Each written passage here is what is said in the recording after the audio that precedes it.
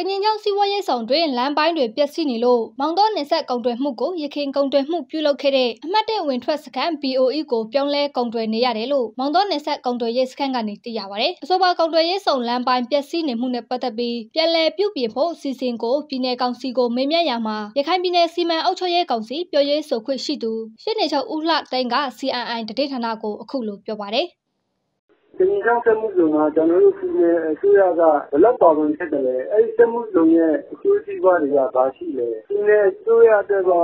ဘာအကျိုးအမြတ်တွေ ရှိမလဲဆိုတာလေးတွေကို ကျွန်တော်တို့ ပြန်စစ်ဖို့ လိုအပ်ပါတယ်ခုချိန်မှာကျွန်တော်တို့ကတော့ ဒီမှာ သုံးသပ် ကြတာကတော့ဒီလမ်းကိုဘယ်လိုပြင်မလဲ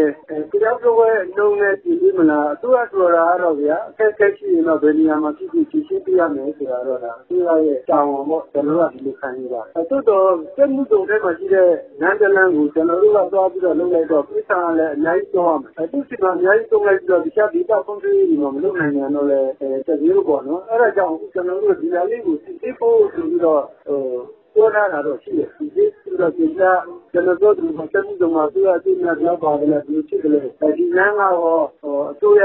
ဒီမှာခံခွဲနိုင်တဲ့လမ်းကစက်မှုတုံကပဲလုံးဝဆိုင်တဲ့လမ်းလားဒါဒီကိုကျွန်တော်ကဒီကိုခိုင်းနေပါတယ်ဒီပြီးတော့မှပဲဘယ်လိုလုပ်မယ်ဆိုတာပေါ့နော်ဆုံးဖြတ်ရမှာပေါ့